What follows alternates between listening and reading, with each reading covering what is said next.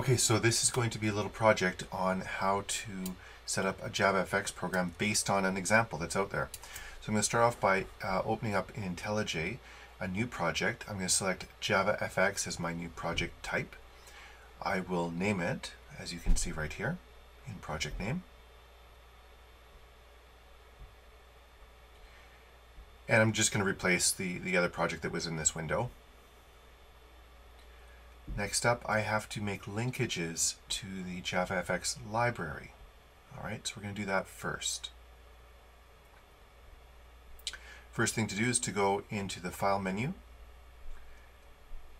and to describe the project structure.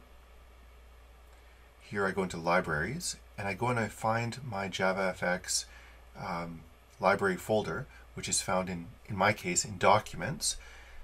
I select the type of JavaFX that I want and then the lib folder. So this is the lib folder right here.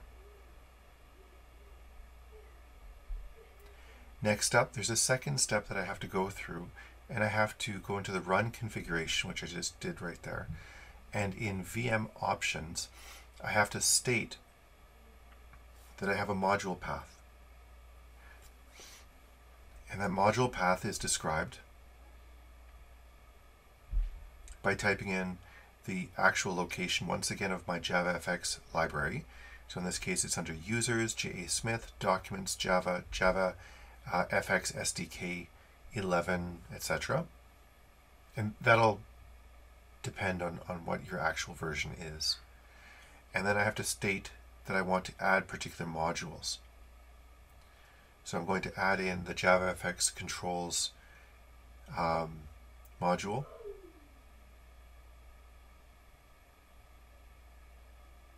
Oops, sorry, right there I had to put in the actual specific JavaFX uh, number version. And now I'm going to type in the, uh, the module names that I want.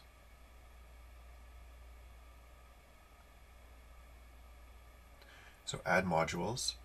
In this case, I want to have the uh, javafx.xml and uh, .controls modules.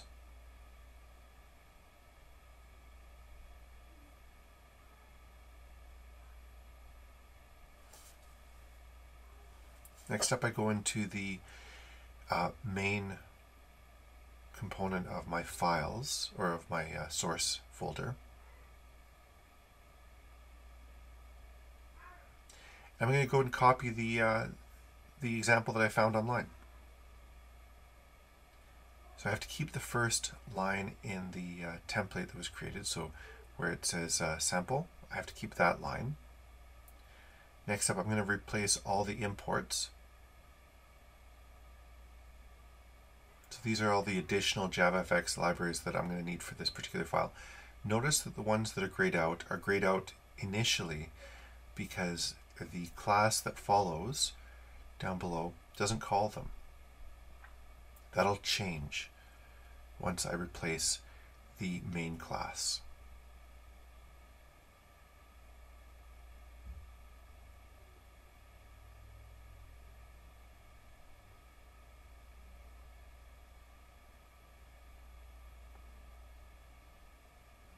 So now I'm going to copy that class, the one that actually does all the work.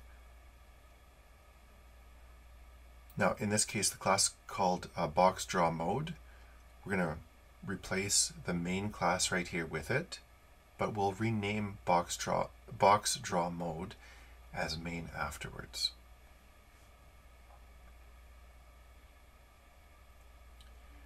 All right, so now we're going to replace that name with main. And that's it. That, that's what needs to be done in order to get a JavaFX project working in IdeaJ or IntelliJ.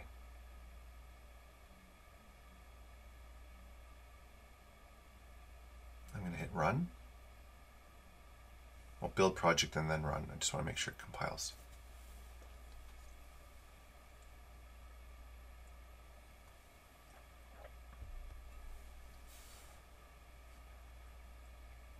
I'm going to run. And I'll show you it looks, the, the window that is created looks exactly like the window that was in the sample.